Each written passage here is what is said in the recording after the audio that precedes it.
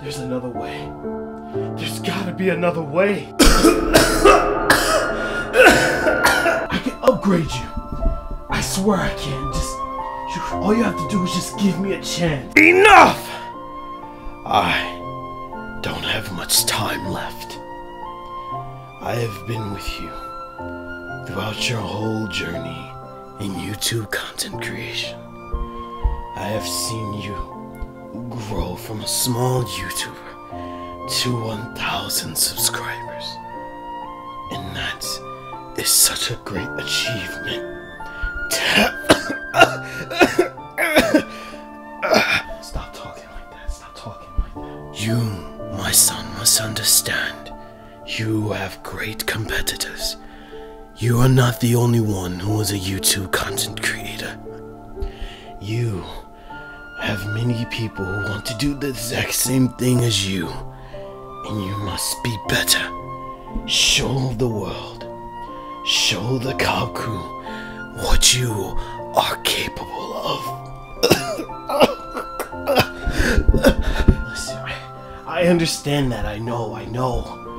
We can, we have a lot to improve on, but this early, I just, it's just the right decision to have a new PC. I, I, just don't know if I can. Like, who knows? This could flop anytime.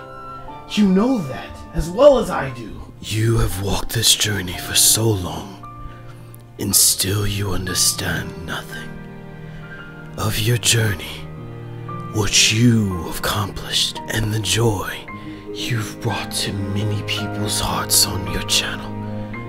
You constantly forget all of those things.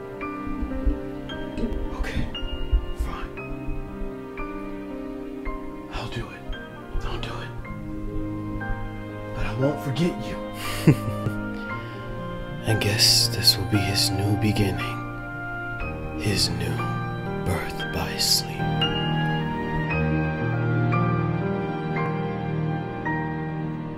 Father?